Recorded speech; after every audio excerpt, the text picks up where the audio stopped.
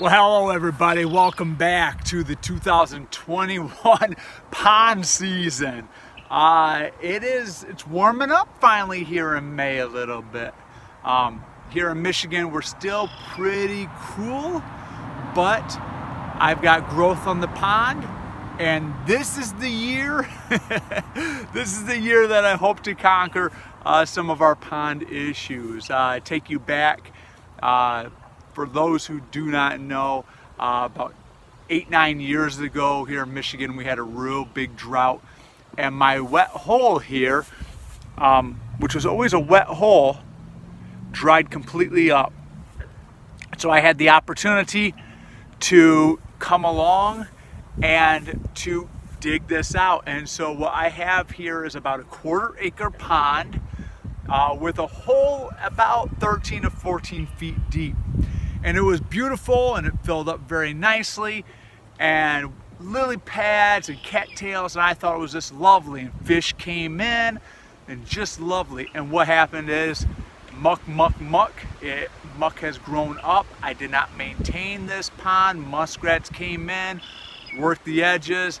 And so uh, I am in the process of reclaiming this.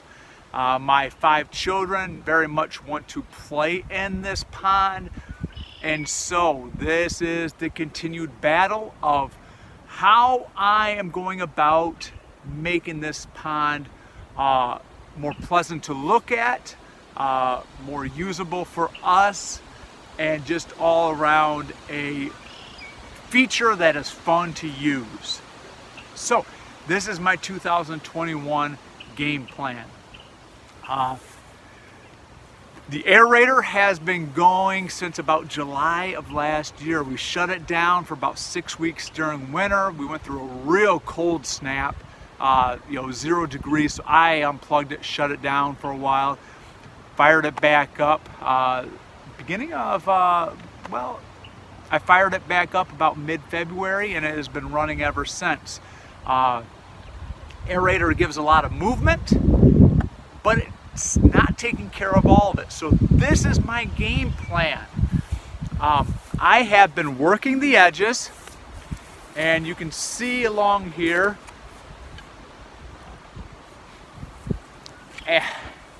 so this is my game plan for 2021 uh, temperatures are still 57 58 degrees uh, please don't tell the missus that I used her cooking thermometer to measure the pond.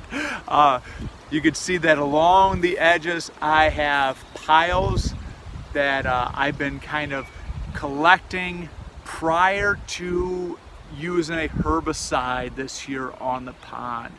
Uh, a uh, uh, individual reached out to me, Nathan reached out to me and everybody had their ideas on how to fix the pond. And Nathan actually emailed me some before and after pictures. And he uses a product called Flumigard and so I have Flumigard now. Um, I have a surfactant that will go with that. And I will be using that on the pond this year.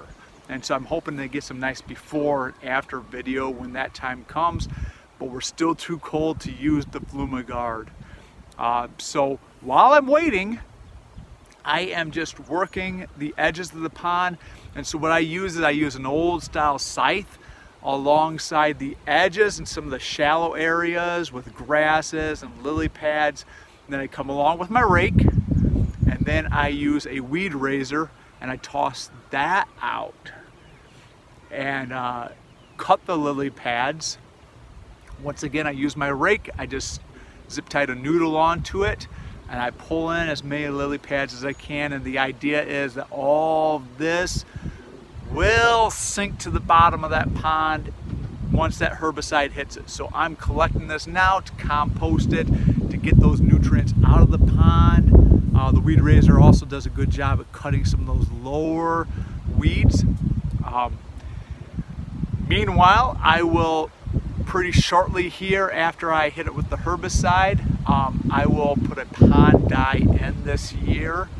Uh, along with that, the pond has some uh, muck tablets going in, some of those uh, uh muck remover type bacteria uh, tablets. And so that is my pond plan for 2021. Um, I'm guessing that it will probably be towards the end of May before I could put the uh, the Flumigard on. Um, and then I'm just going to guess here that I'm going to have to do a second application in the fall, um, later summer. And so that's what I'm doing. Uh, that's my game plan and I'm going to stick to it. I am blown away by how many people love ponds. Um, and I grew up on a small lake and I would say that I really enjoy the pond and having that right in my front yard. So I'm going to take care of it and this is how I'm going to do it this year.